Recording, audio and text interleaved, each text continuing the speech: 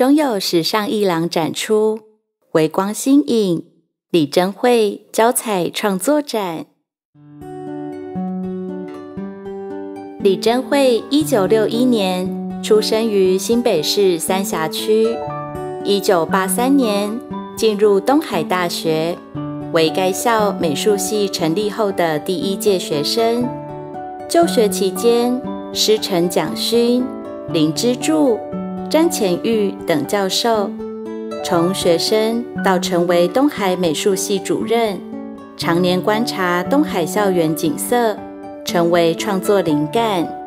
以其为观之眼，矿彩笔下的光影纹理，感性与理性的心境意象转换，认真且忠于自我的胶彩艺术创作成就。